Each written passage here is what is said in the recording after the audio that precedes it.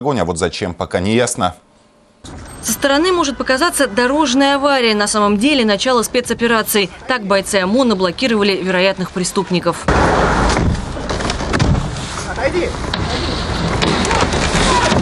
Появление людей в черной амуниции стало неожиданностью и для других участников движения. Машины остановились на несколько секунд, но потом автовладельцы предпочли покинуть место задержания. Тем временем, без лишних церемоний, оперативники надели наручники на водителя и пассажира красной иномарки. Это вероятные участники перестрелки, которая произошла ночью в центре Петербурга. В результате 8 человек попали в больницу. Здесь, э, неподалеку одного из кафе, в стиле лихих 90-х годов, э, уроженцы Дагестана назначили стрелку э, с представителями ингушской диаспоры. Это происходило в ночной период времени.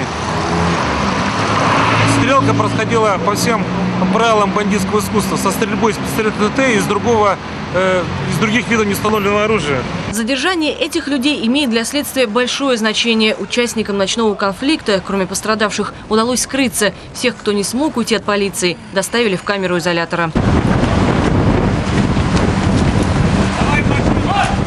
Следователям предстоит установить причину перестрелки. Сейчас в квартирах задержанных идут обыски. Мария Соловьева, Анатолий Штомпель и Иван Синецкий. Телекомпания НТВ, Санкт-Петербург. Подмосковные полицейские закрыли «Страну чудес». Сотрудников элитного учебного заведения с таким названием заподозрили в нетрадиционном подходе к образованию. По версии следователей, школьникам якобы преподавали саентологию, которая в России запрещена. Чем опасны такие уроки, знает Михаил Чебаненко. Учебный процесс пришлось прервать, когда в стране чудес появились полицейские. Детей педагоги вывели на улицу, а следователи проверили все кабинеты. Первую очередь их интересовали финансовые документы. Оперативники уверены, учреждение два года работало без лицензии, а руководители за обучение брали с родителей немалые деньги. Таким образом, ущерб составил 21 миллион рублей. После того, как школу посетили сотрудники УБЭПа, страной чудес заинтересовался отдел по борьбе с экстремизмом. Педагогов подозревают в том, что детей они обучали нетрадиционным наукам. В кабинетах сыщики обнаружили саентологическую литературу, около 50 книг автора Рона Хаббарда. В России саентология запрещена, она считается сектой. Многие работы Хаббарда признаны экстремистскими. Психолингвисты подтвердили, его учение оправдывает насилие, а также призывает к религиозной розни и к преступлениям. Сейчас сыщики выясняют, входила ли саентология в обязательную программу школы. Найти частную школу «Страна чудес» не так просто. Со стороны вот этот двухэтажный коттедж ничем не отличается от остальных домов в деревне Бараново. Можно подумать, что это жилой участок. Со всех сторон здание окружено металлическим забором, а на воротах нет никакой информации, что здесь детское учреждение, нет даже адреса. И вот, несмотря на то, что накануне здесь прошли обыски, учреждение, судя по всему, продолжает работать. По крайней мере, за забором слышны детские голоса. С тех пор, как школу посетили полицейские, здесь рады далеко не всем гостям. Ну хотя бы вы подтверждаете или опровергаете это все? Никак не буду комментировать вообще. Вам сейчас позволяют работать, получается? Я не буду ничего говорить.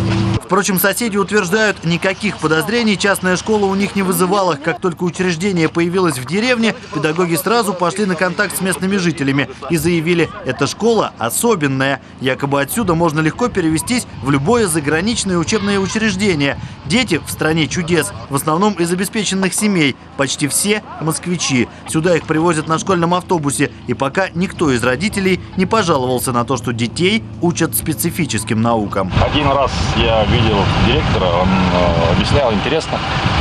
И, и ребятишки занимаются удовольствием здесь, вот как я смотрю, со стороны. Экстремизм как таковой не подтвердился в настоящее время. Выявлены книги, по которым проводилось обучение. Э, данные книги направлены на экспертизу. Э, там уже в ходе экспертизы будет установлено, имеют ли они экстремистскую направленность или нет.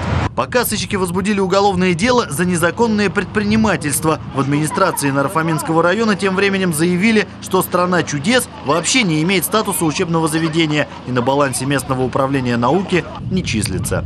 Михаил Чебаненко, Константин Каргин, телекомпания НТВ, Московская область. Одним колесом в могиле оказался водитель этой десятки. Разбитый автомобиль обнаружили на Липецком кладбище. При этом за рулем никого не было. Очевидцы вызвали ГАИ. Инспекторы предположили, что вероятный виновник аварии был пьян. Он не справился с управлением, протаранил несколько надгробий, но сам серьезно не пострадал и, судя по всему, сбежал. Сотрудники погоста сначала своими силами пытались убрать легковушку. Давай, давай. Давай, давай. Раз. Все. В эко- В итоге на кладбище пришлось вызывать эвакуатор. Хозяина десятки уже нашли. Полицейским он признался. Накануне брат взял у него машину и поехал к могиле отца.